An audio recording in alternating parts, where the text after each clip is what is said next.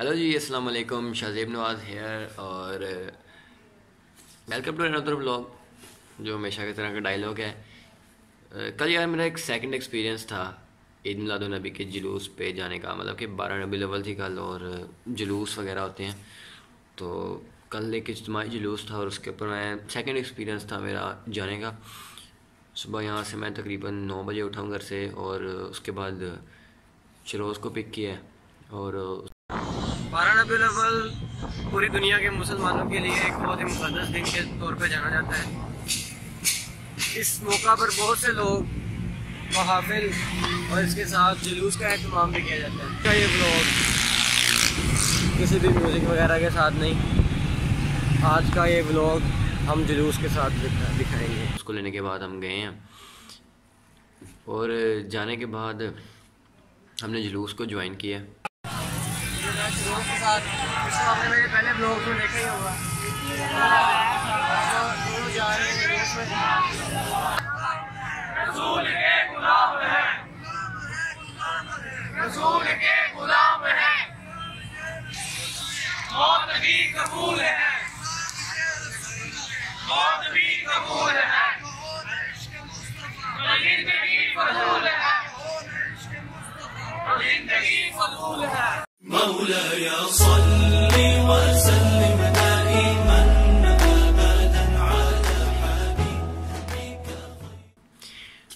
جلوس جوائن ہوا ہے اور وہاں سے ہم موو کرتے گئے ہیں، آگے موو کرتے رہے ہیں۔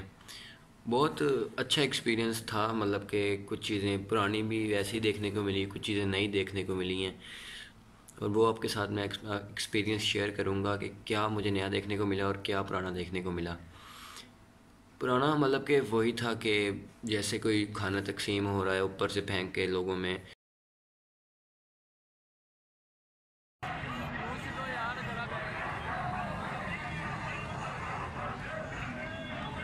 اور جیسے لوگوں کا ایک دل کے ساتھ ایک جذبہ تھا جلوس کے اندر اور کچھ چیزیں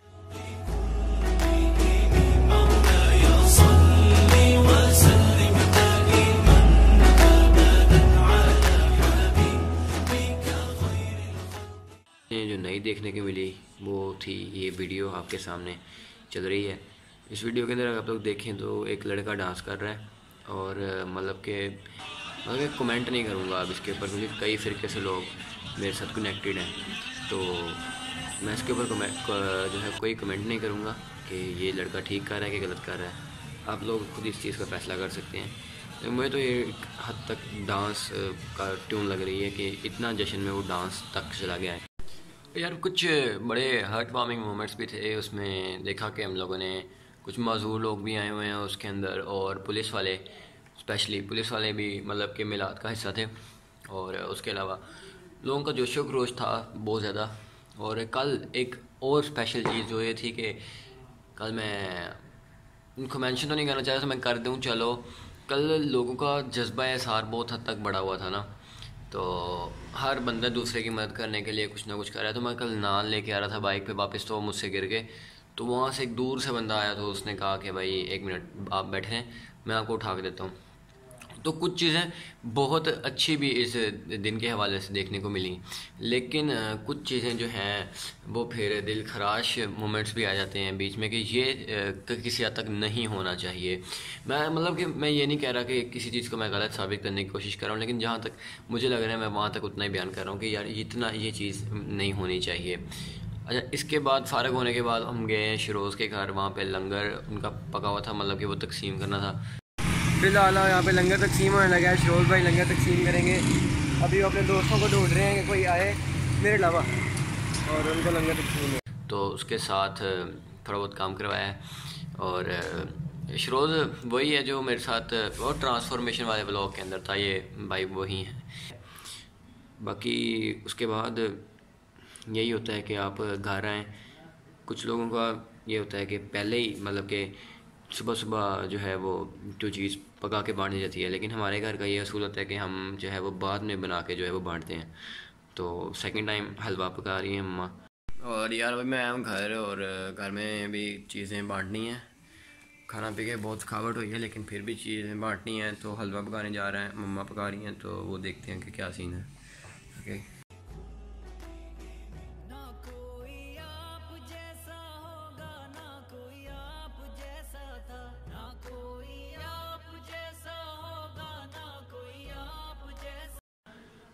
اور انہوں نے حلوہ پکایا اور اس کے بعد بانٹنے کے لیے میں گیا ہوں ہر جگہ پہ۔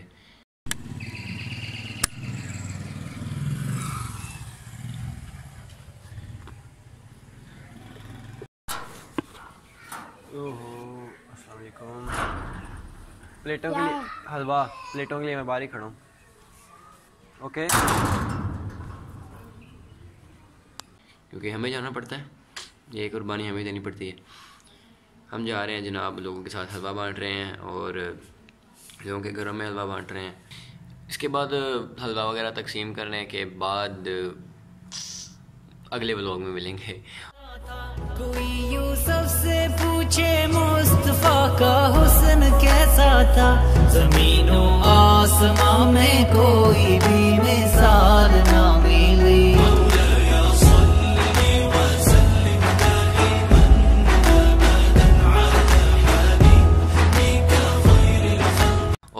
کچھ نہیں ہے۔ اس دفعہ کوئی بلوپر نہیں ہے تو بس اتنا ہی ہے۔ آپ لوگ کیا سوچ رہے ہیں؟